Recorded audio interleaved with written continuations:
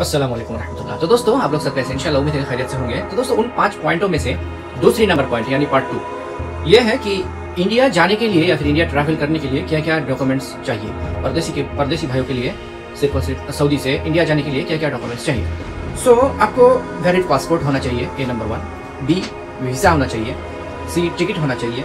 D PCR test होना चाहिए. आप जिस टाइम में से ट्रैवल स्टार्ट करना चाहते हैं हम एक एवरेज टाइम निकाले हैं अब पचास घंटा के अंदर घंटा के अंदर कर लेंगे तो अच्छी बात है अलहमदिल्ला ऐसे कि हालाँकि नज़दीक में है तो चौबीस घंटा से पहले कर लेंगे तो बेहतर है अलहमदिल्ला so E point number A R सुविधा कर लेंगे, इससे बहुत सारी सुविधा मिलेगा इनशाला इफ़ तवक्लना इम्यून होना चाहिए, ठीक है ना दोस्तों? तवक्लना इम्यून होना चाहिए।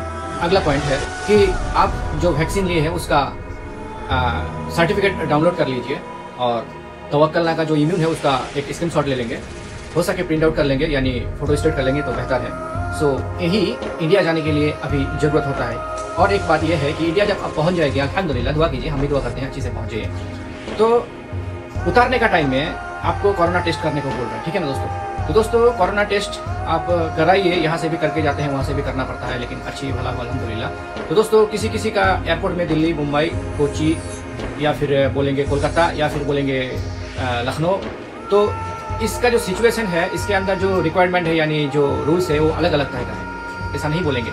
तो आगे आपका मर्ज़ी सतर्क रहिए बी केयरफुल बी अलर्ट और देख कर पहुँचिए, दुआ करिए अलहमदिल्ला तो ये जानकारी आपको कैसा लगा? अच्छा लगे तो ज़रूर आगे तक शेयर करिए। इन शाला सो जजाक खैर। असल